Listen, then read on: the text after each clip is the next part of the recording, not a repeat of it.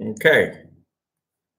I'm trying live in a long time. Um, so, so the uh, if you know from my YouTube community page, I asked interesting questions, something that jumped and turned my camera on. So I'm like, you know, instead of taking one question all every week, maybe I can just keep answer whatever questions you know um, I can. So if so, the first question is from Parikshana Mathur. And Parikshana asks the in the autobiography of a yogi, many times it comes that the time was not ripe. Same as in astrology, we say, let the dasha come. Based on your experience and discussion with your gurus and teachers, I guess, what exactly is the right time and why we can't do right time? What will happen if we force it to happen? Why even the yogis had to wait for a particular time? So again, yeah, this is important. First of all, certain yogis go beyond the dashas, beyond the transits, beyond everything, but it's very rare. Okay, it's very rare for um some most yogis to not be affected by their karma. So even if you look at, let's say, uh, who's that Ramakrishna, the uh, teacher of Vivekananda, okay, he had some issue, I believe, on his kidney or somewhere, and he refused to get treatment for it. He said, "No, I'm getting my past life karma. Be- uh, uh, this particular health issue is based on my past life karma. I have to pay it off." So they know that they have to pay that particular karma off. And yogis, when they go into a different dimension, they can see the timeline. They can see what has happened, what it is, and what is coming. And they can see this is my biggest karma that is to come in three years. And then what happens is a yogi can either do related to that particular karma. So, for example, even in autobiography of a yogi, Lahiri Mahasaya had a boil on the back in his back when his time came to take uh, Nirvikalpa Samadhi, and he didn't want treatment for it. He's like, "This is it. This is the way I'm going to go." In the same autobiography of a yogi, Mahavatar Babaji took a piece of burning wood and threw it on the wrist of one of the disciples. And he's like, What did you just do, Babaji? He's like, well, you were supposed to uh, get really badly burned because of your past life karma. I just helped you pay your karma off. So even then, when you're with somebody as divine, as highly, highly manifested being as Babaji, he himself said you have to pay the karmas off. So yes, you have to pay karmas off, but again, there are also then way to nullify those karmas, right? There are ways to get those karmas down. Which again was autobiography yogi is like a Gita for uh, ignorant people like me. You know, in there, Sri Yukteswar said to have this three metal bangle, which is uh, made of gold, copper, and silver. It kind of acts as a lightning rod that that is on a building, so a person uh, or the or the building can take the actual current within the ground instead of dealing hurting the dwelling. So there's all these little things. So yeah you can't go beyond your time. It's it's it's really it's a very complicated matrix of karma. Then uh, nano asked every profession has a code of ethics.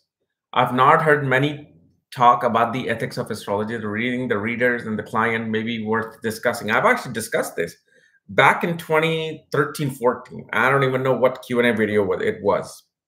And i've said i will never uh, this is one of my principles after going to so many astrologers you know because i used to do that in us there are so many astrologers themselves. I got reading from people from india.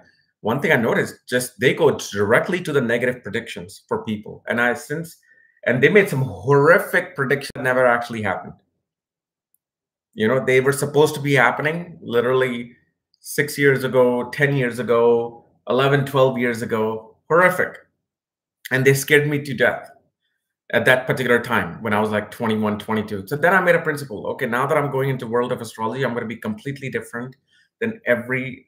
It has already happened. I'll say something in the reading, but if I see something coming, no, because when the person goes away from my reading, they should feel hopeful. They should be like, wow, at least I have some good thing coming in. And if I do see something really, really bad, I would always just talk about it in a very subtle way where I will talk about the remedy first before I even go into like, wow, oh my goodness, this is horrific things going to happen with you or this family member. No, never, ever, ever, because you are you are always interfering within the karma of the individual and the client and, and God. And once you intervene, you better know the fine line.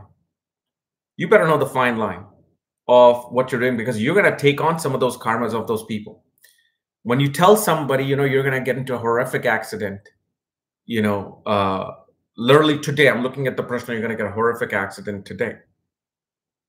Well, guess what? Now that the person has this absolute fear, karma is now given to the astrologers that, you know what, you're going to have to deal with this fear too, because you gave it to them. That's not what the rishis did back in the days. First of all, the astrology that we do today, jobs, marriage, promotions, right? Relationships. That was the last concern for the rishis back then. For them, it was about what is the purpose of this soul? Why are you here? You shouldn't be here. You should be in Hiranyaloka or somewhere else. Why are you here? Let's help you complete the karmas. So they actually always kind of looked at the pending karmas. What is the pending? Why are you born? Let me just tell you how why you're born so I can just not deal with that, you know? So that's that. So I would never, and of course, a lot of people even ask me, you know, um, like for example, a lot of lot of people, even just two, three days ago, somebody asked me in one of the readings, hey, can you tell me where exactly you got this? I want to get this. I always see your videos with this particular bangle, and you mentioned this bangle. Can you? I would never say that because first of all, I'm not being endorsed, and you got to understand, every day, every day, I'm getting endorsement deals, especially from India and Dubai. Do you know if I took some of these endorsement deals with jewelries and gems, I, I would make two thousand a day, two thousand a day, easy. But you would have never, ever, ever, ever have seen me endorse any astrological product of anybody else You've never endorsed me any gem shop, nothing. I said, this is the remedy. You go do it yourself. I don't want to be involved. Because especially what happens is even if I say, oh, I bought this from here, you go and you get it. You have a bad experience with them. Oh, he told me to get it from here. It's a bad experience. Mm -mm. Not me. Not me. You know, I have that control. You know, I, I don't get swayed like that with the money that that I get offered. No, I'm good. Then the next question. The other question is from Mitja. What's the name? Mitaja Erzine. Mitaja Erzine. Pilates and yoga. I'm a Pilates yoga teacher and I'm dealing with spine issue, deformation daily at my work. I noticed that many of them are in a family. So my question is how family karma can relate to the spine. Spine. Well, for that, yes, of course. Every issue that you deal with, either it's your own karma or your family curses that you deal that you're born with. And of course, spine is connected with many planets, especially Sun, Ketu, Mercury. Okay, because remember, spine is what? Spine is like a serpent. This is the head of the serpent, and in the back is the tail of the serpent. That's all we are. If you take away our head and spine, there's nothing. There's no you. Okay, there is no me. There, there's that's all we are. We're like literally serpents with additional body parts, like hands and feet. So yeah, for that, I mean, we, we can't, I can't answer that because I don't know your chart. I don't know exactly what we're looking at. We have to look at that. We have to look at your D30 and D12 chart to see exact health issues, you know? So, but yes, there is that. Then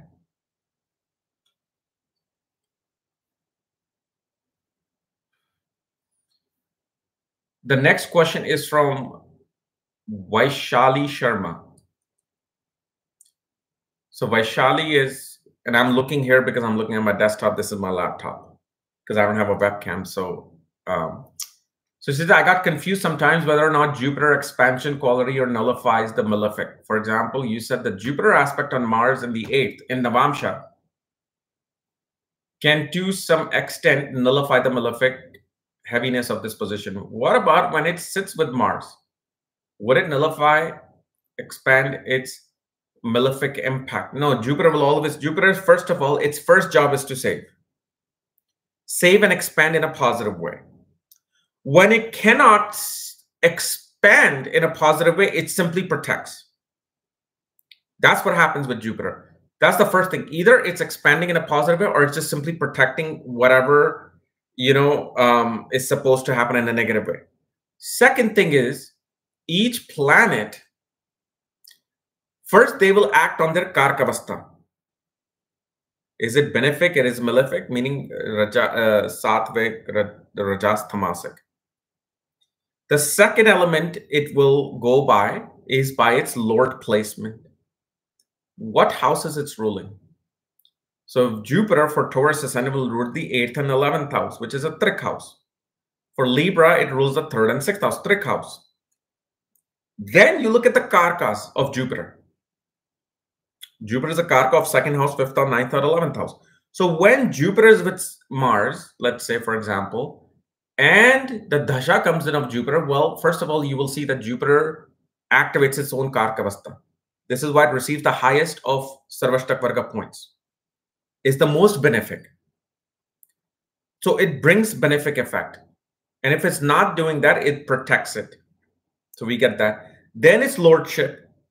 What would be the lordship if, let's say, it's a Libra ascendant, you know, and Jupiter's conjunct Mars somewhere? Well, it's going to also do the third and sixth house, which means competitiveness, sports, media, communications, you know, dealing with debts becomes active. Then Karkavasta comes into play. So let's say you started your Jupiter Dasha in age 20. So till 36, you're going to have Jupiter. So what happens then? Jupiter will definitely bring you money bank balance, children, interest in higher education, um, social and cultural events, okay, uh, conferences, um, you know, making new connections.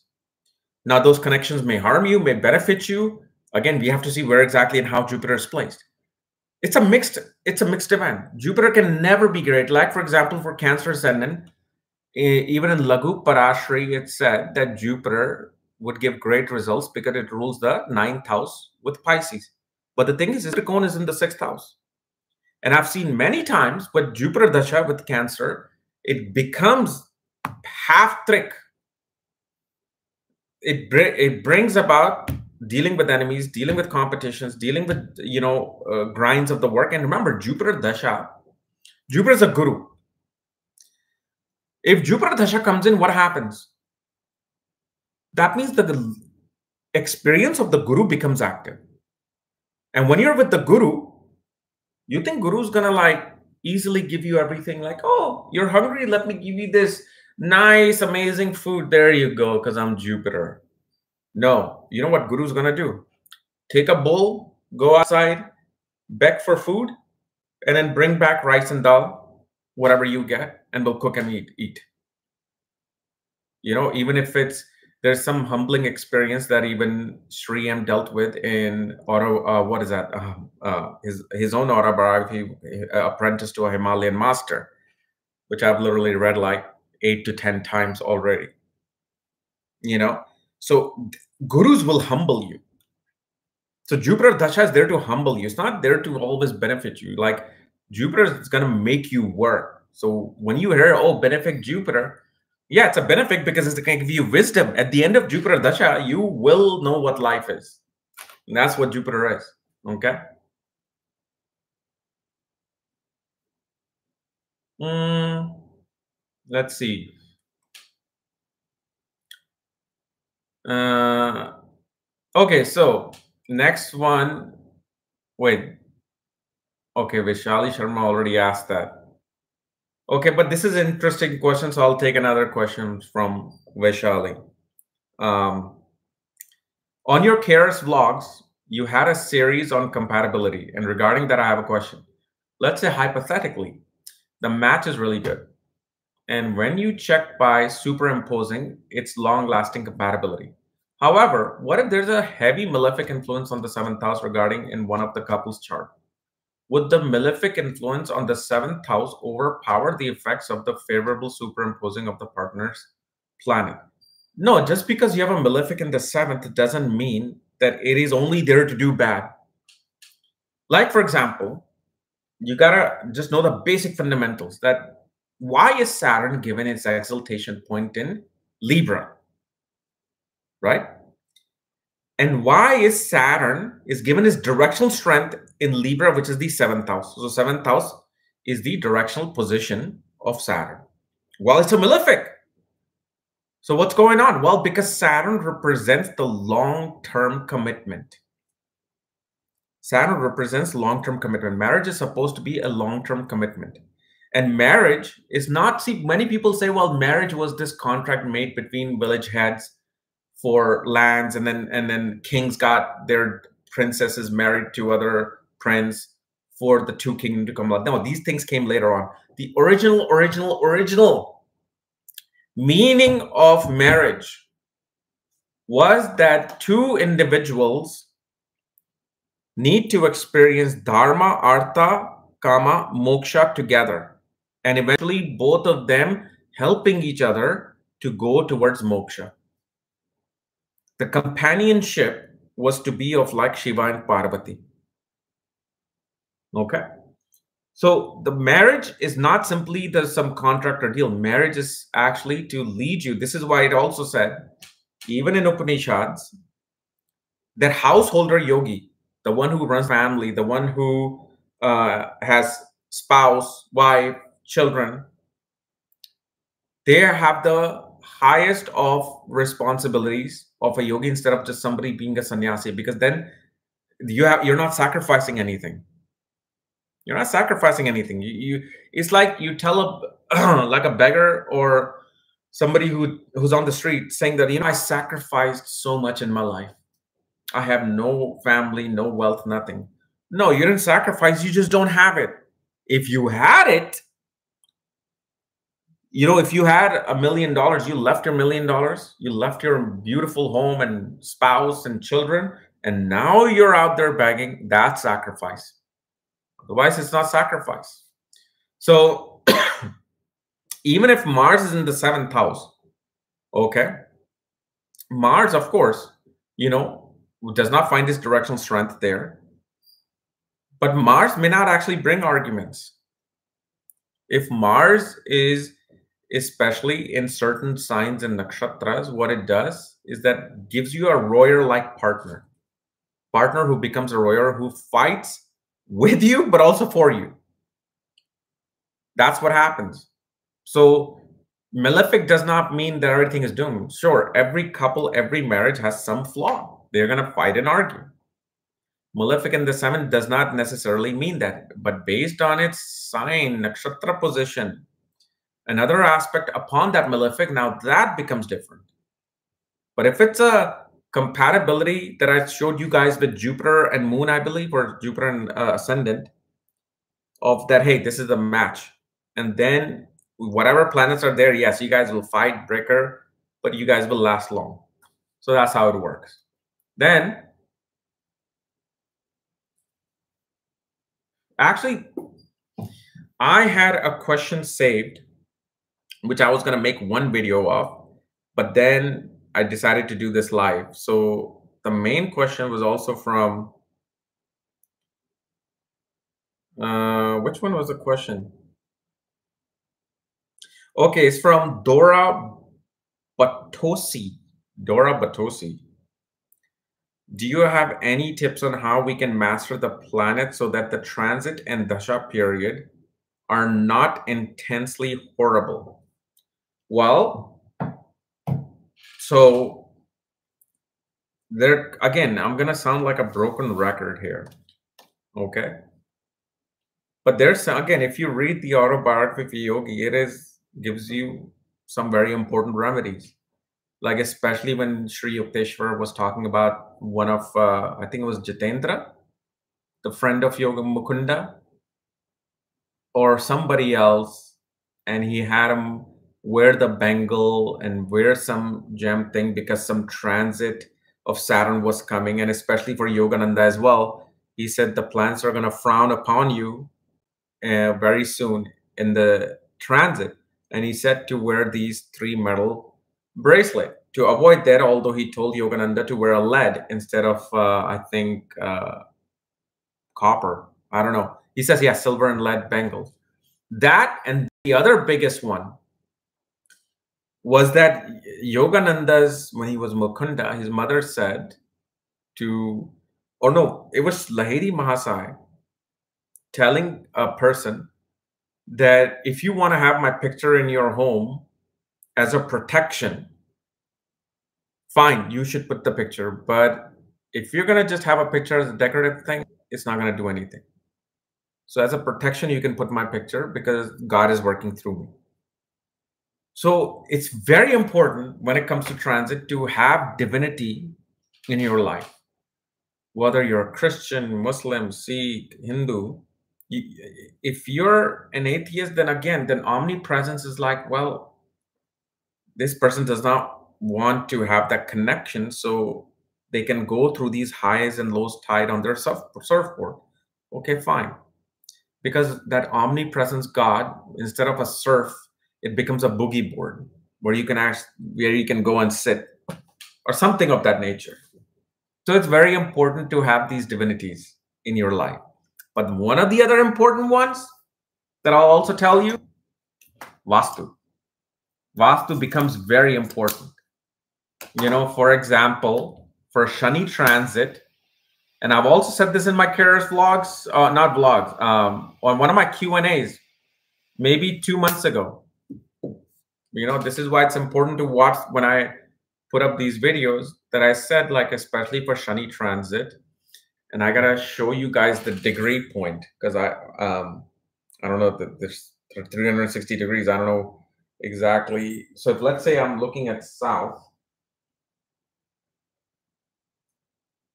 it's from 160 to 4 degrees to 180 degrees. You put a brass statue of Hanuman in that direction, which helps you to nullify those effects of the male man called Saturn, who brings and gives those males.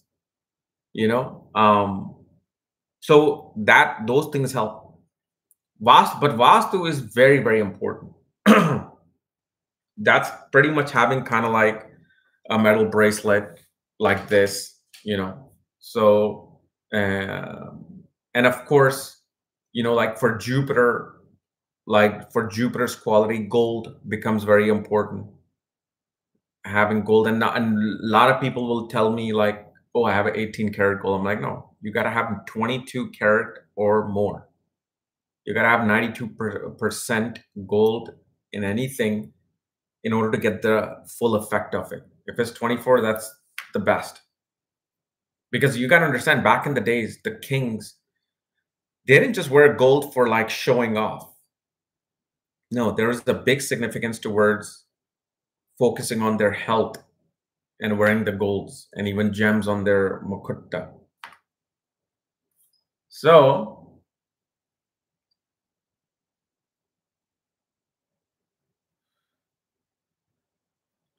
So our friend is saying, can you please throw some light on the relationship between Mercury and Ketu conjunction and difficulty in learning foreign languages and affinity towards ancient studies? No, actually, again, depending upon other malefic influences on Mercury and Ketu, then you'll have difficulty. But this is actually a conjunction where a person will be interested in languages. Because what's happening now? People are learning technical language, coding. Coding is a language. That's all it is. If coding wasn't here, you would be interested in learning French or Hindi or Sanskrit or something. so Mercury and Ketu conjunction cannot bring difficulty. It actually makes great mathematicians. It makes, of course, great intuitive people go into spiritual uh, life. But the thing is, based on other conjunction and aspects on Mercury and Ketu, yes, things. Okay. But Mercury and Ketu shows that there's a strong past life connection with learning, languages, communication that must be accomplished in this life but eh, I, in order for me to go into details, I, I mean, I can go into much more details on this Mercury Ketu, but we don't have enough time and space in this particular session on this. Uh,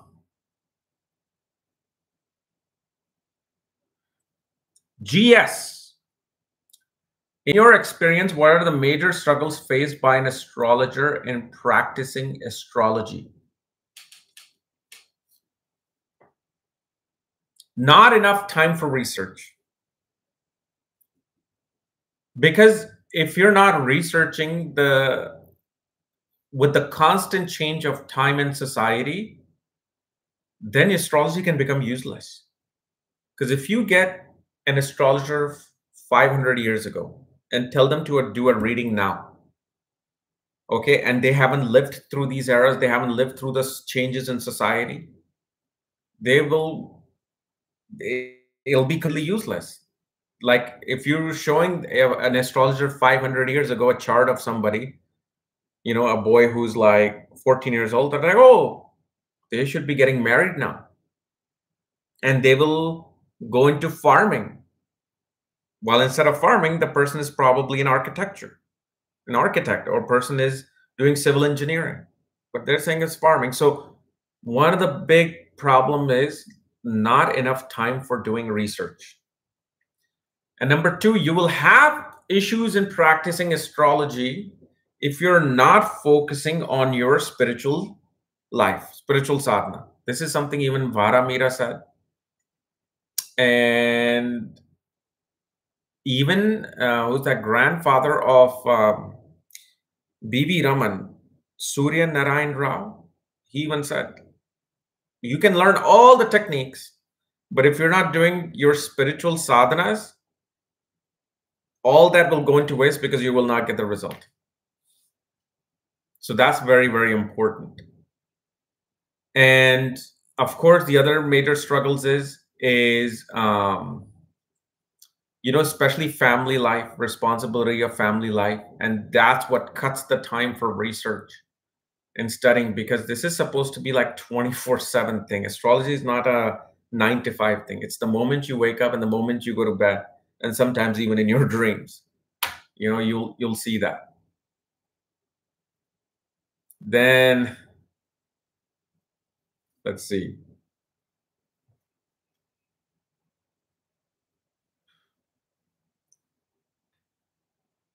helen thompson does marrying a person from another religion changes your karma to the worse? What about bringing up your children in a different religion than yours? No. If you're destined to marry somebody of a different culture and ethnic background, you're going to do it. And there is nothing because what you're doing right now is you're saying that well that religion is worse than mine so now my karma is going to go down well no then no there's no religion again Religion is like a bucket of water from the same well. You can say this water is different, but I'm sorry, it's not. It came from the same well. You can name it whatever you want. It's all it's all one well. That's it. And now I can truly say it's just one well. Okay. Then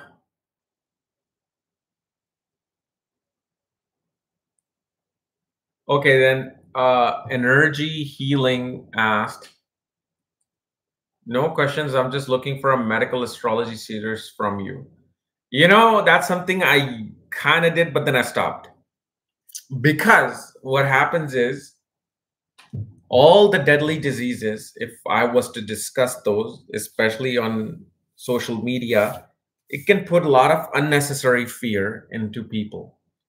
Because if I say, well, Rahu and you know this person this planet being this this places away from rahu being in this sign during this period this particular disease can become active well somebody who's about to start them with that position you know and if they have no way to get in touch with me to get details on that they, they will be in fear absolute fear so you have to be very careful now what you do and say on social media. Back in 2015, 14, it was much simpler because there was not too many people paying attention to you. Now, every eye is upon you. So that's something I will more most likely do on KRS vlogs. But again, one thing I will say is that without the education of Ayurveda, one cannot step into health astrology.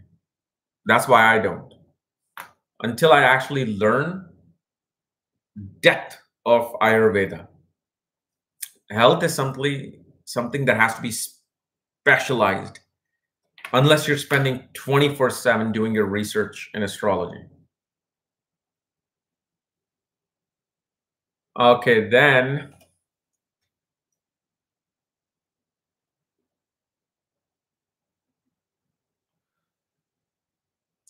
So, how to see the timing when someone is miraculously healed. You mentioned this will happen to some people. Okay, da, da, da, da, da, Rahu transit. You will see in Dasha, 8th and ninth Lord are playing a part in that sudden miraculous healing, including Jupiter being in amazing dignity. Okay, so 8th and ninth Lord playing a part with Jupiter creating a yoga, particularly with that. So, for example, even if you look at uh, when Amitabh Bachchan had his accident, you know, it was the Gaj Kesari Yoga with Moon being in the ninth house, transiting, and um, I forgot the other Pratyantar Dasha of Shukra, Venus, operating at the same time which became a sudden saving grace. Because literally they thought he wasn't going to survive, but within weeks, his ninth house period just started. That's where the miraculousness came in. And the Karaka of the ninth, which was Jupiter, was exalted in the sixth house of health. So these things have to play out. But again, you have to look at each chart is different.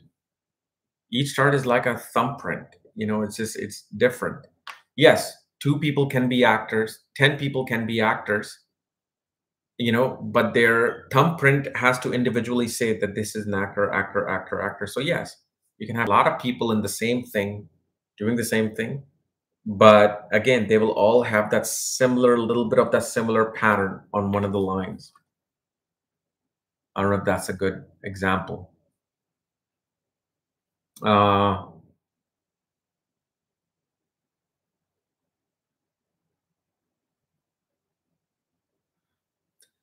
how do we how do we know that a person is living his oh okay so charvi sharma asks how do we know the person living their last reincarnation on earth through astrology? 12th house becomes very significant ascendant lord in the 12th aspected by their moksha lords ketu jupiter becomes the last birth pisces being in the 12th house from your karakamsha lagna becomes especially when Jupiter or Ketu aspect becomes a point of moksha. And there are three, four others. I have it in my noted down, but I don't focus on them every day. So that's why I don't uh, remember them, but I have them written down. These three, four placement, especially you will also find in, um, what was this book? Hold on. Uh, Brihat Jataka. Brihat Jataka by Varahamihira. Um, importance use of tithi panchanga in astrology okay so there's many use mostly it's about muhurta right? But i'll tell you one of the most important things. One of the most simplest aspect of tithi is just to look at the nakshatra that moon is transiting on this particular day okay? So it becomes very important to see like what transit the moon is in on this particular day. When you just keep track of the moon, okay, moon nakshatra, you will see as an astrologer, your something starts to work in your brain where it improves your astrological ability on that day. If you just keep track of this one small thing of where moon is transiting. If say moon was in Vishaka yesterday, it would be in Anuradha by today. You know, it'll be in Jeshta tomorrow if you can just keep track of this one simple thing, you don't have to know about the exact 16 tithi, which is even better if you do, which tithi is running. But just keep track of that. That's the most important part for an astrologer, at least. Most important use to help somehow with their intuitive side of astrology. Um, what else? Interesting one.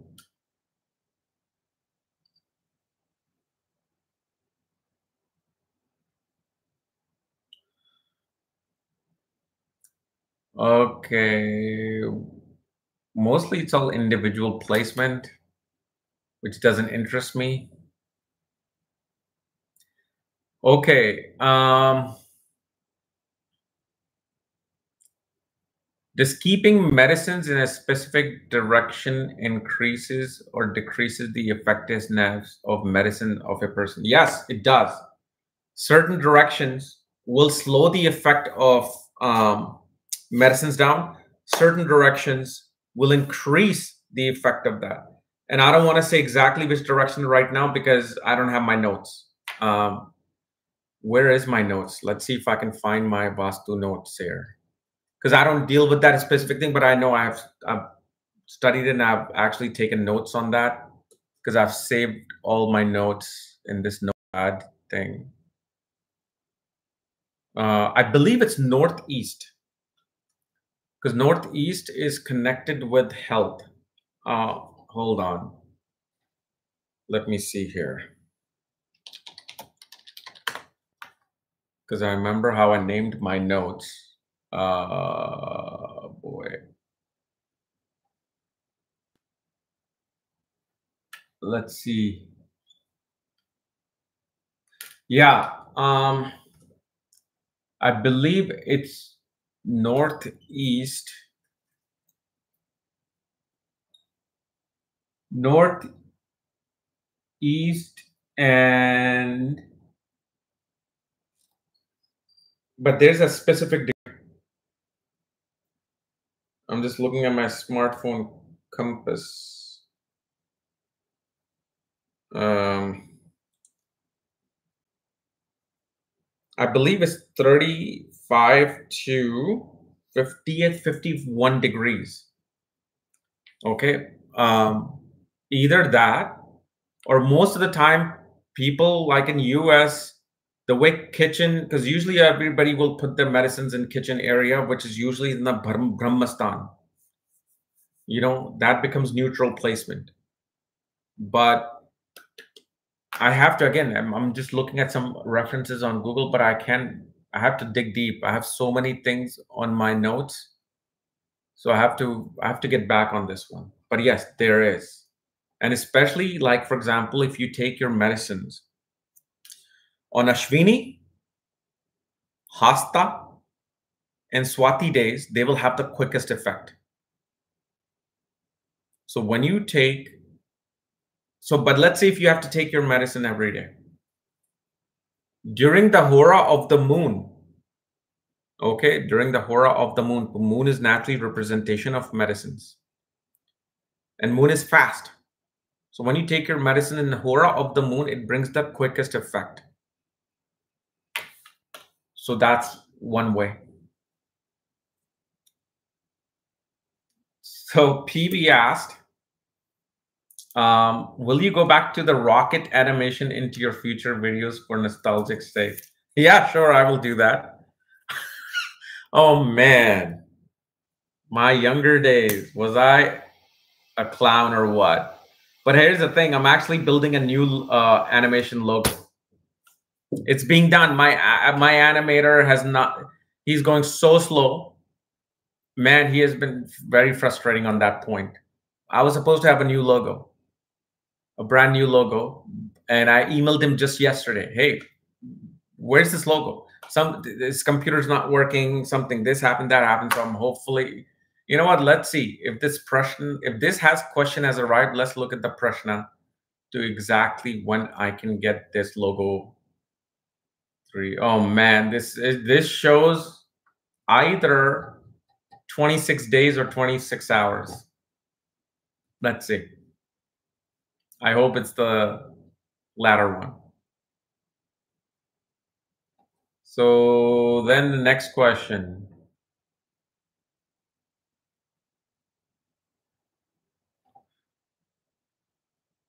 Hmm. Some of these things are amazing, the question you're asking me, but it can be a very negative thing for me to say it here. But I do know what this person is saying about. Yeah, yeah. I won't even say the, the conjunction. Uh, let's see. How can I identify my spiritual gift or what I might master in the in, in this incarnation? Well, I can't tell you because I have to look at your chart. Uh, let's see again individual guys when you're saying well i have mars and conjunction aspected by Saturn. What's going to happen? I don't know what's going to happen because I don't know the degrees, what they're landing in in Navamsha, what they're, are they in like Pushkara Navamsha? Are they in Sandhi? Are they, you know, um, in a particular Yoga Tara degree? All these things matter. So when you ask me individual questions, doesn't help. Okay. Can you do a Vastu course Yes, I might. I might uh, next year though. Specific reason why next year. When Saturn enters Aquarius, that's when I might do it. But I'm right now working on my course of predicting without any planets, just just the ascendant, and what karma they play besides just a planet. Planet. It's like you can imagine planet just being like garam masala on your potato.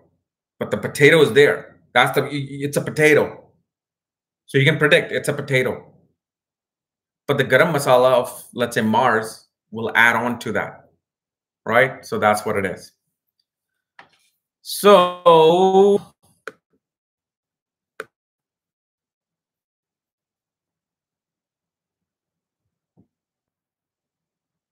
Okay, so okay. All right. So guys, my laptop is not hooked up with my thing and my batteries. I didn't even realize my battery's at red on my laptop battery. So um, I, I like this. I like this um, live. It, it helps me to answer many, many questions instead of just one, you know? Uh, let me see. Yes, this, yes, this is uh, Saraswati. That is Saraswati. So yes, she always has my back. Saraswati, and then that's Lakshmi. Okay, that's you will not find.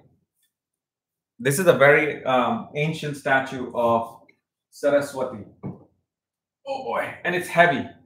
This is like 20, 30 pounds of Saraswati. Very ancient one. And there's a big significance behind this particular piece one of my teachers gave it to me with energization. So, yeah. And uh, if you want to see that's Lakshmi, just very heavy. I don't want to pick it up. So anyway, guys, this was our live stream. I will do it maybe again one next week.